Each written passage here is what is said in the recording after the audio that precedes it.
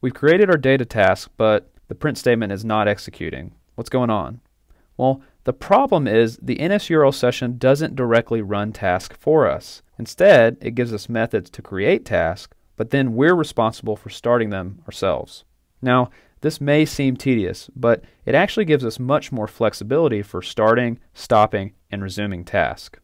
To start the task, we just need to call the resume method on the task itself. Now let's run this.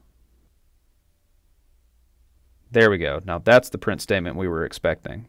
The next step will be to take the data that's in the completion handler and create an image that we can display to the user.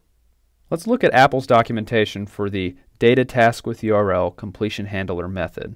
In the discussion section, there's this one really important blurb that I want to focus on. It says, if the request completes successfully, the data parameter of the completion handler block contains the resource data, and the error parameter is nil. But if the request fails, the data parameter is nil, and the error parameter contains information about the failure. So back in the code, we can use this information to our advantage and check first to see if the error is nil. As long as the error is nil, then our data should be good to use.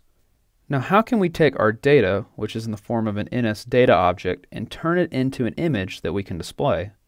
Actually, it's quite easy. The UI image class has a handy initializer that can construct an image directly from NS data. So we'll use it to create an image, and then we'll set the image view's image property to our downloaded image. This looks great. Let's run it and see if it works.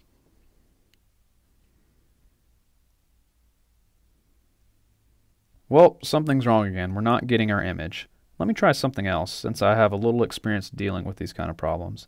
In the simulator, I'm going to simulate hitting the home button. The hotkey for this is Command Shift H. There we go. Or you can select it from the simulator's toolbar here at the top. There it is, home button. This takes us out of the app. Now let's reopen it. There's our image. How come it didn't show up at first? Let's investigate this problem next.